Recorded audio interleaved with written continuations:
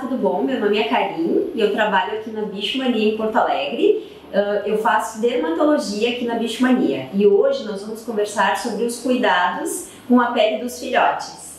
Uh, algumas vezes os clientes me perguntam qual é a forma de nós uh, prevenirmos ou protegermos os filhotes para que eles não tenham complicações de pele no futuro.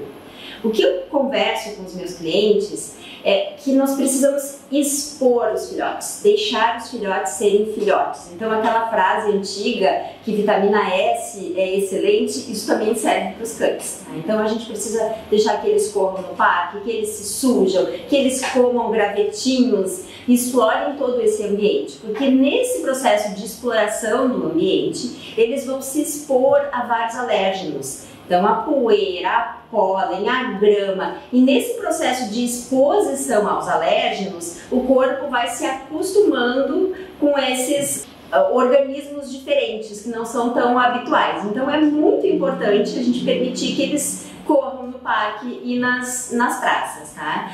Uh, e aí, depois disso tudo, ah, meu filhote está todo sujo, está imundo, como que eu levo ele para dentro de casa? Então, a gente pode fazer uma limpeza superficial nele ou realmente um banho. Tá? E aí, no banho, qual é a melhor forma de dar banho no filhote? Só na pet shop? Uh, só em casa? qual é a, a, conduta nesses casos, tá? Então, falando em saúde em primeiro lugar, o banho na pet shop e até a ida à pracinha, ele só vai ser indicado depois do protocolo vacinal estar concluído. Então, depois que, que o filhotinho está com o seu protocolo vacinal concluído, ele já pode tomar banho na pet tomar, e ir na pracinha e no parque. Uh, e quando ele for na pet shop, a gente precisa conversar com esses profissionais para vermos que tipo de produtos eles estão usando. Porque o filhote precisa de um shampoo, de uma linha de produtos cosméticos adaptados à sua pele. Então, uma linha para filhotes, de uma boa marca, de uma marca de confiança. E se formos dar banho em casa, a gente precisa seguir esse mesmo uh, conceito, né? esses mesmos cuidados. Então, dar banho com água morna, num ambiente protegido de correntes de ar, uh, usar shampoos específicos para filhotes, não usar um sabão, não usar um sabonete que não são indicados.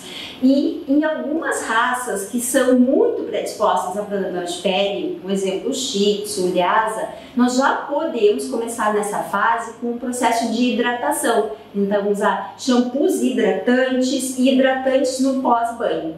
Tá? Então, algumas dicas simples para a gente poder ter uma vida saudável desde a infância. Um grande abraço!